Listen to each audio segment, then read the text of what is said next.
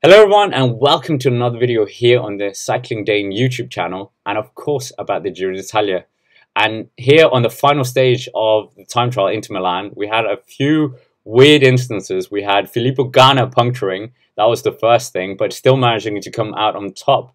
And we also saw that weird incident with Matteo Sobrero nearly being taken out by the Groupama FDJ car, which was absolutely crazy as he was catching his minute man, but the car hadn't moved out of the way, which I think was just incredible to see.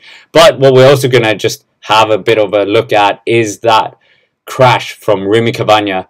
Remi Cavagna, of course, took a bit of confidence, you must think, from seeing uh, Filippo Ganna having a bit of trouble, to say the least, with that puncture. And a puncture, how much time does that take out? Maybe 15 seconds thereabout. So it's not only the puncture changing the bike, it's also the fact that you're coming from on the limit and then going straight away to a stop and then having to get back into that momentum. So great shame for Filippo Ganna, but still came out on top. But if we bring the clip up here, we can see Remi Cavagna just overcooks it a bit and can't quite hit the brakes enough. So he's come in with too much speed into that corner and that kind of propelled him onto the barrier but uh, Remi Cavagna still managed to record the quickest time, well, second quickest time on the day. So quite a feat from the national French time trial champion. And he was looking to upset the favorite Filippo Ganna on this occasion, but it didn't quite happen. And he couldn't quite repeat his uh, performance in the Tour of Romandie that he did before